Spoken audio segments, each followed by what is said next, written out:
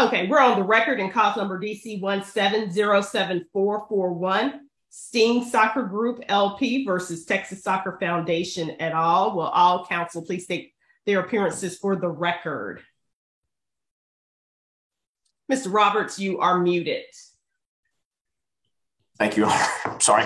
Um, uh, this is Rich Roberts for the plaintiff and movant.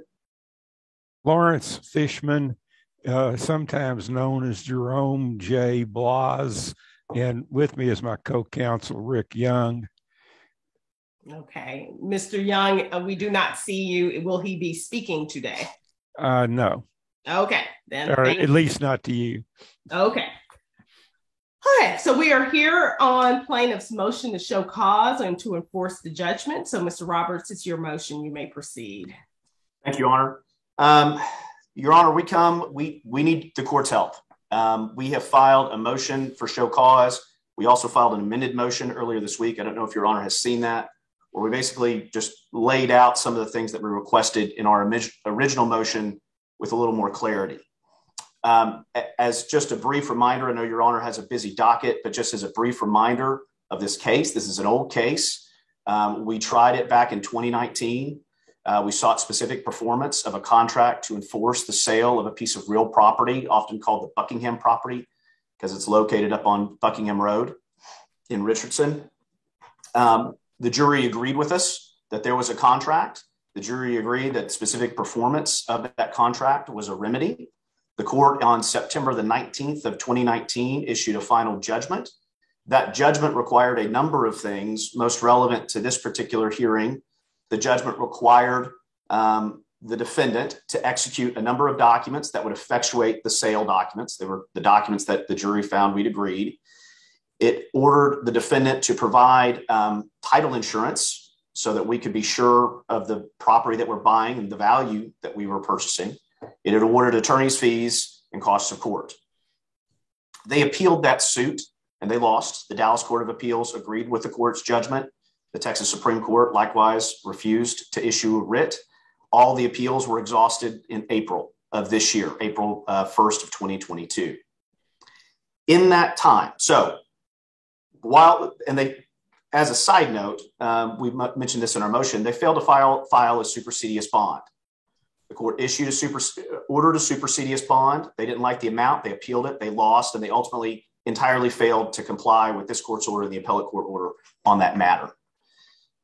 So they've been in contempt of this court's order. They have refused to do anything whatsoever in response to this court's judgment since September 19th.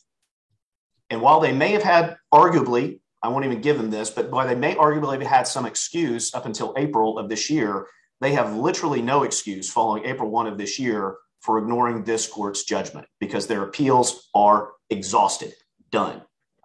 Now, I got to tell you, I've been practicing law for a while and I have never seen as recalcitrant of a judgment debtor as this. And I've represented some judgment debtors. They have done literally nothing and they have refused any of our requests for them to do anything. For example, in the documents that we've submitted to the court, we have a request back in June of 2021 that they comply with the court's order. We suggested that we were going to file a contempt motion back then, and they did nothing. They've ignored it. What they have done, as your honor may recall, is they've gone and filed a whole separate lawsuit in the county court at law. They didn't disclose to the court at the time that it was related to this matter. They noticed they notably didn't file it in front of your honor in the district court. They filed it in the county court to try to get away from your honor and they're looking to enforce rights that directly contradict what the judgment requires. The judgment's very simple. They got to sell us the property, we'll pay for it. They got to issue a title insurance at their cost. And they have done none of those things. None. And they ultimately will refuse to do anything if the court doesn't order them to. And here's how I know that, Your Honor. One, they haven't done anything. And two, they didn't even start looking for title insurance until after we filed our original motion to compel and for sanctions. Attached to their documents um, that they've submitted are a couple of letters where they asked two different title companies to issue title insurance. Both of those came at least a week after we filed this original motion. So, despite our demands, despite the court's judgment, despite everything, they will do nothing until we file a motion to hold them in contempt. And I don't expect that to change. That's why we're here, Your Honor. We need the court's help to enforce its judgment. Rule of Civil Procedure 308 gives the court broad authority to enforce its judgment. And in fact, it directs the court. The court shall issue orders enforcing its judgment. That's what we're here for. And one of the arguments that they presented in their response, and I expect Mr. Fishman to come up with here later, is court, Your Honor, this um, this county court matter deals with this dispute over payment. And since we filed it before this motion, then it's the older case. Okay. Well, that's ridiculous on a number of levels. One, the county court case is certainly not older than this case. This is this is the older case and it has primary primary jurisdiction. Two, the Dallas Court of Appeals has ruled directly differently. And I can put this language from the case up on the screen if Your Honor would care to see it, or I can just read it. Um, just tell me what you had prefer. I'm I'm good either way. Screen sharing is available, so whatever works for you. Um, I'm sharing on the screen. Can Your Honor see this various opportunities v. Sullivan investments case? I can see it. This is a case that we cited in our um, amended motion. This is out of the Dallas Court of Appeals, 1984.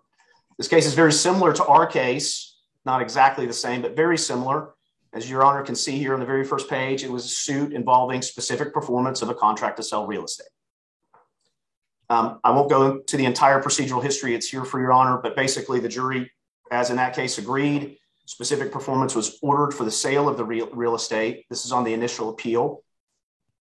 You can see here the, the court issued in that case, the trial court issued orders enforcing um, its judgment. Now, there in that case, there was a dispute as a part of that contract for sale of real estate. There was a dispute about some improvements that had to be made to the property and what would happen. So they were arguing about this underlying contract. And one of the arguments on appeal was hey, the court doesn't have the authority to adjudicate those disputes. The Dallas Court of Appeals disagreed. Here at the bottom, additionally, our courts have held that a decree of specific performance serves to incorporate the parties' agreement into the judgment. Thus, the incorporation of the contract into the judgment by reference serves to adjudicate the specific rights set out therein. Future enforcement of contractual rights so incorporated are contemplated by Rule 308. So disputes about the contract, when, when it is incorporated into the judgment, according to the Dallas Court of Appeals, 308. That's this court. This is the court with jurisdiction over those disputes. The court goes on. Further, it has been held that the court has inherent authority at any time to direct orders not inconsistent with the adjudication or to make such orders as may be necessary to carry its judgment into execution. Since the judgment sets forth the, the essentials to be accomplished by specific performance, with the consequent adjudication of contractual rights incorporated therein, together with the court's prerogatives, both inherently and under 308, to enter such specific orders as necessary, we hold that these points are overruled. So their, their argument that the county court has primary jurisdiction to adjudicate disputes about this contract is just flatly wrong. Dallas Court of Appeals disagrees. Okay. And Mr. Roberts, just for sake of time because um, we got started late. Um, tell me what you want the court because I know I know what happened. I know the procedural history of this case. I know we went we sat through that jury trial for a number of days. I know what the jury ordered and I know what defendants have been doing, appealing, not one post bond, appealing me po- at requiring them post bond. I get it. What is what are you asking the court to do? Um, being that you know one of to me the the strongest ways to force a person to do something is the threat of jail. But this we're dealing with a corporation. And that's it. And so what you know you know besides finding them which is you know really kind of the power that i have right now what else are you asking the court to do today so we're, we're asking for several things, and one contemplates what Your Honor is saying. We're asking one for an order from the court ordering them to execute these documents, to provide the title assurance within 10 days, execute the documents within 20 days, and have those documents executed as of the date that was required in the judgment. So that's an important detail. We're several years down the road now, and we have payments to make under this. So we're fine making the payments that we need to make, but it needs to start way back when so that they don't have some claim for other rents or whatever. Um, but that we start back then, and we're fine with that. We contemplate that order because that would be one more order on which a contempt, possibly a criminal contempt sanction, would hang. Um, the judgment is one thing, a direct order from the court is a whole other thing. So we ask for that because they have refused to do it. Um, we ask, in addition, for an order that they either pay us in cash for what is owed under the judgment or that we have a right to offset that against amounts owed. So, so your honor knows we have not been paying rent under for this property because they You should have sold paying it. the mortgage. Yes. Right. We should be paying the mortgage. So we we admit and we are ready to pay. There will be money that we need to pay to them to catch up these payments. Fine. We're asking for an order of the court that those amounts either be paid by them to us in cash or that we have a right to offset what we owe them with those amounts. Very straightforward. It's specifically laid out in the motion. I'll just run through it real quick for your honor. There's $172,595.32 in fees. There's $27,378.56 in interest on those fees. I'm sorry, Cost- repeat the interest, repeat the interest. Three Um, 20, I'm sorry, I'm trying to go, I'm sorry if I'm going too fast. Um, $27,378.56. Thank you. We've submitted along with our motion costs, recoverable costs, receipts for those of $6,998.97. And then one other issue, after the judgment, we continue to pay rent on the property for a few months. Now that's rent that should have gone to paying the mortgage, as your honor just mentioned. We asked for that to be offset or paid back to us. That's $53,365. So that's the offset amount. That's what we want an order and, and an offset. And then we we're asking for contempt sanctions. We're asking for two types of sanctions. We're asking um, under the Texas Government Code 21002, it gives your honor the right to give $500 in sanctions. We're asking for $500 per day that they continue to refuse to comply with the court's order. We're asking for our attorney's fees in connection with bringing this action with, with this enforcement. Now, they have an objection to attorney's fees, and there is some law questioning that. You have to have something that supports it. Uh, we have two arguments in that favor. One, as we just pointed out from the Dallas Court of Appeals, the contract is, is essentially incorporated into the judgment. Their refusal to provide the title insurance is a breach of the contract. Their refusal to execute the documents is a breach of that contract. So, Your Honor has the right to give attorney's fees under the um, Civil Practice and Remedies Code for breach of contract. Also, an award of specific performance is in the way of an injunction. It's not exactly an injunction, but it's essentially a, a, a positive affirmative injunction. And Your Honor certainly has the right um, to issue attorney's fees as a sanction for refusing to comply with an injunction. So we're asking for our attorney's fees in connection with bringing this proceeding here. We have not submitted uh, final numbers for that yet because it's not final, but we would ask for an order uh, that those be awarded, and then we will submit, hopefully agreed, the amounts of those for the court's um, approval. And then finally, we're asking for further certification. It's been some time since this judgment. They still have not provided a title insurance policy. So we're asking that they certify that there are no new liens or encumbrances since the judgment that they placed on the property. That is an order entirely consistent with the judgment. It is not inconsistent with the judgment. It is well within this court's authority and will promote basically what the judgment is that they give us this property free and clear of encumbrances, which is part of actually the original documents. So those are our requests, Your Honor. I, they're not outlandish. We are just we just want to bring we just want to land the plane. We want to get this thing done. Absolutely. I understand, Mr. Roberts. Okay, Mr. Fishman, you know, what do you have to say? I have a few things to say, Your Honor. First of all, let me clear up uh, a couple of uh, points that I think uh, uh impact uh, the uh, relief that's being sought. One is the misconception that we had some obligation to post a supersedeas bond. Court will recall that you set the bond at an amount that we thought was uh, too high and in fact couldn't meet it. All you did, you didn't order us to post a bond as they say in their pleadings. You just set the bond and it was up to us whether to comply with it or not. So there are no points off for us failing to post the bond, except that, you know, they were entitled to go forward uh, with uh, satisfaction to the judgment and and, and the court happened. understands all of that. You don't have to argue those. Um, you know, Okay. All right. Well, let me come. Let me come to another point that uh, I think may be more impactful. One is that uh, the case in the county court at law involving rents and involving uh, the uh, implied vendors lien foreclosure.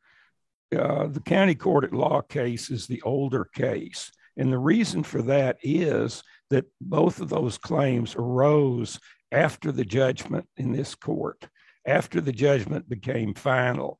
These, these rents and, and uh, mortgage payments didn't exist until then. So it was a whole new case. You didn't have authority. We couldn't file a motion in this court. We couldn't have amended our pleadings after you'd rendered judgment asking for these things uh, that accrued later.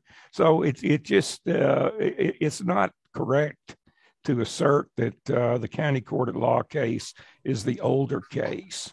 I mean, is is not the older case. Thank you. Well, Uh, okay, Mr. all right, let me I'm move not along. Going, I'm not going to argue with you because I mean there is an argument that really that case should be abated. A plea to the jurisdiction probably should have been be filed for abatement because we have to deal with my satisfaction of my judgment here before that can even get reached. And certainly this would resolve that case. But again, No, we're not let tell me, tell me why I shouldn't give Mr. Roberts what he wants today. Okay. That's really all I want to hear. All right. Well, uh, let's talk about the title commitment first. Uh, uh, we can ask for a title commitment. We've we've got three. Uh, we we're 0 for two now. We have a third one out uh, from Allegiance Title, uh, and uh, uh, my, the indication is they're probably going to issue the commitment. So I, sh- I I should be able to deliver that fairly shortly. Problem is, I can't make them deliver it within 10 days or 20 days. They'll deliver it when they deliver it.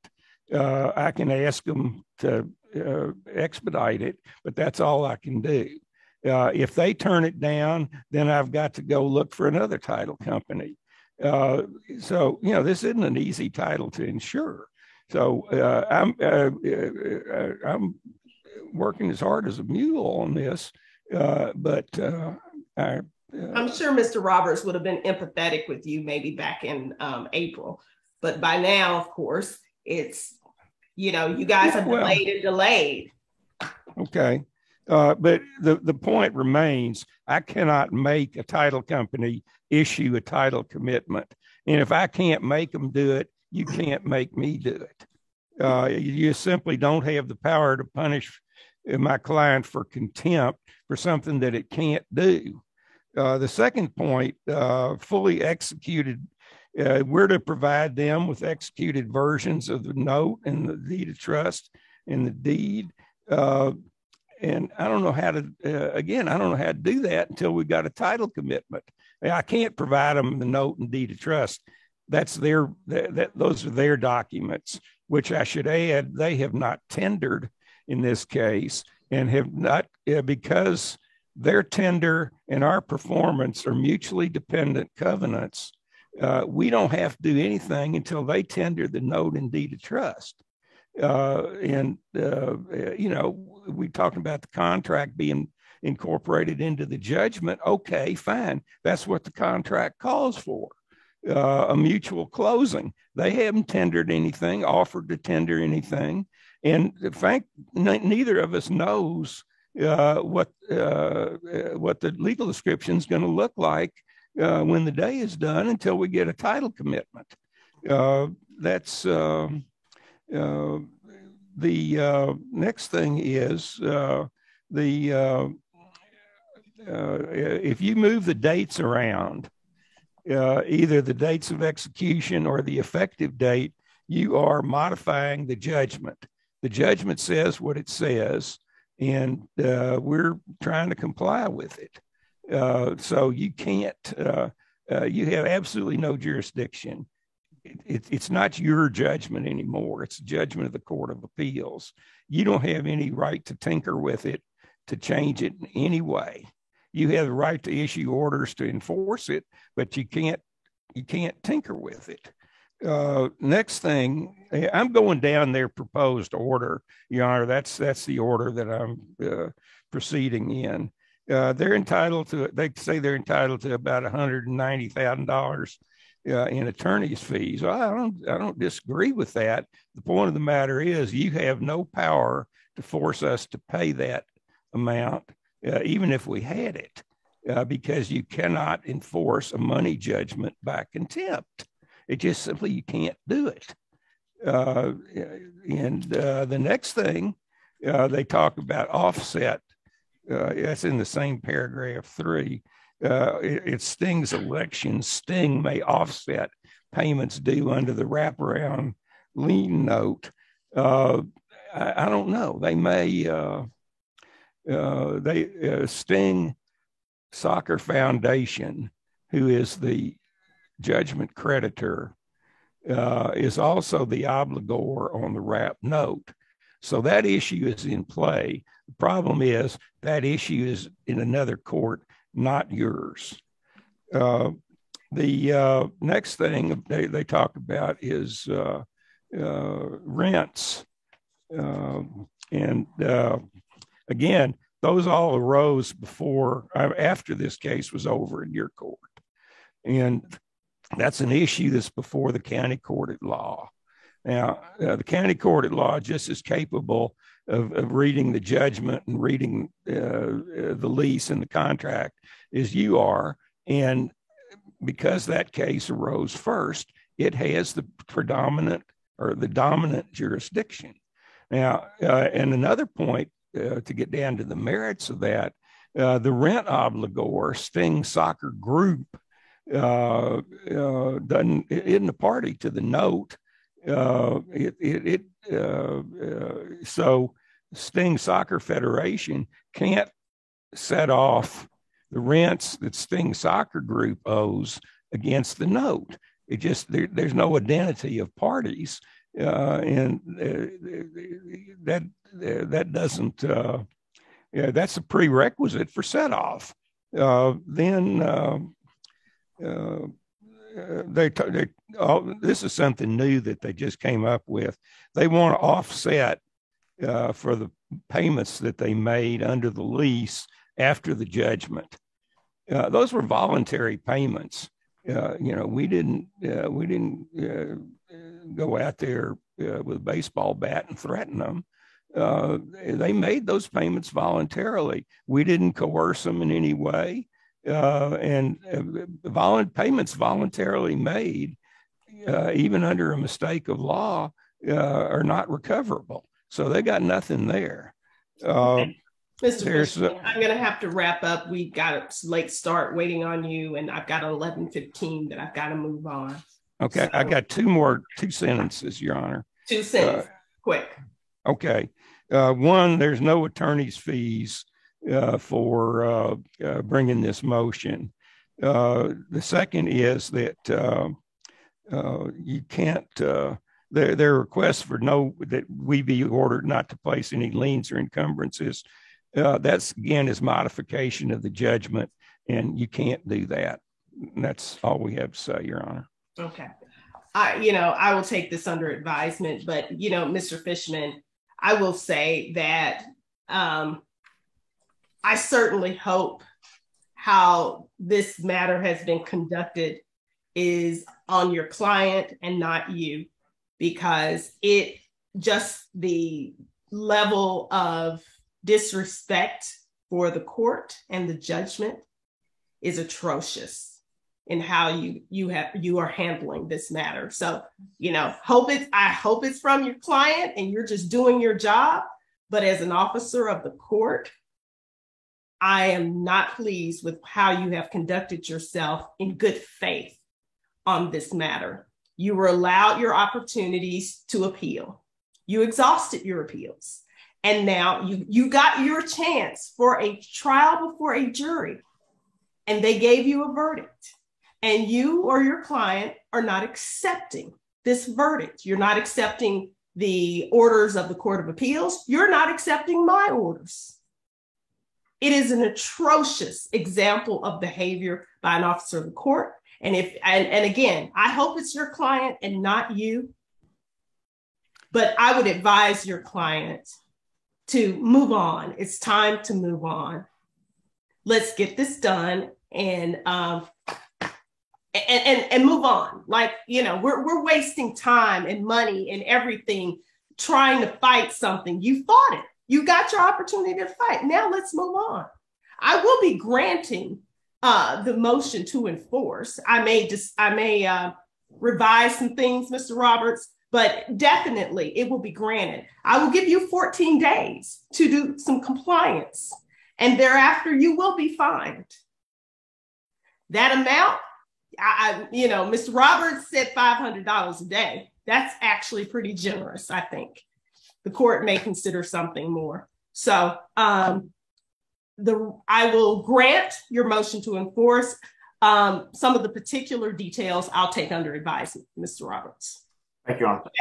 Thank you. Take care. Have a good rest of your day.